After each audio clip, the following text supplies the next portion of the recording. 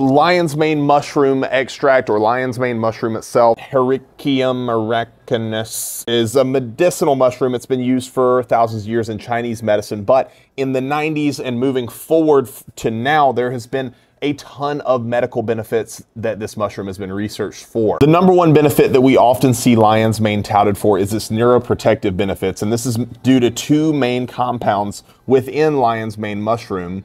Not going to attempt to pronounce them, but I'm going to have them right here.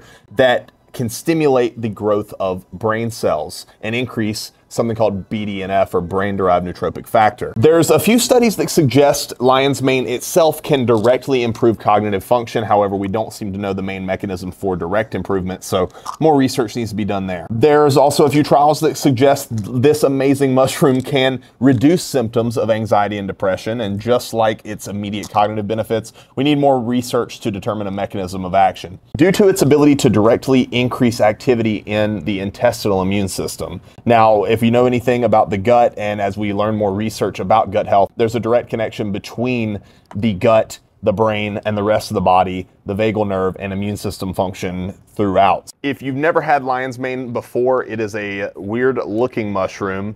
And when you cook it, it apparently has the consistency of like um, some kind of seafood but I've never eaten it itself. I've only taken the supplemental form that we have here. Guys, if you're somebody who wants to optimize brain health and maximize nootropic benefit through your supplementation, check out Lion's Mane.